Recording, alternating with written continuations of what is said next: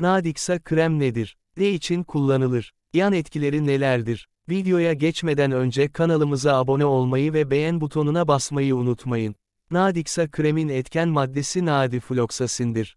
Bu madde, esas olarak antibiyotiktir ve bakterilerin hayatta kalması için gerekli olan sentezi engelleyerek bakterilerin ölmesine vesile olur.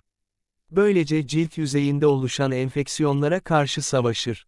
Çoğunlukla ergenlik dönemindeki gençlerde görülen sivilceler, akneler alna ya da enseye yakın kıl köklerinde, erkeklerde sakal ve bıyık bölgesi, genital bölge, sırt gibi kir ve yağın yoğun olduğu yerlerdeki bakterilerin etkinliği sonucu oluşan içi irin dolu kabartılar ve pembe-kırmızı kabartılarla belirgin sivilcelerin akne vulgaris giderilmesi için kullanılır.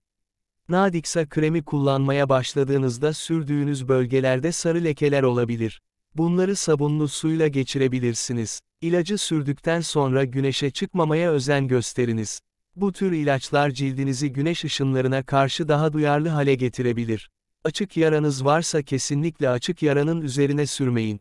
Kremi sürdükten sonra cildinizde yanma, kaşınma, kızarma vesaire gibi belirtiler oluyorsa kesinlikle doktorunuza başvurun. Kanalımıza abone olmayı ve beğen butonuna basmayı unutmayın.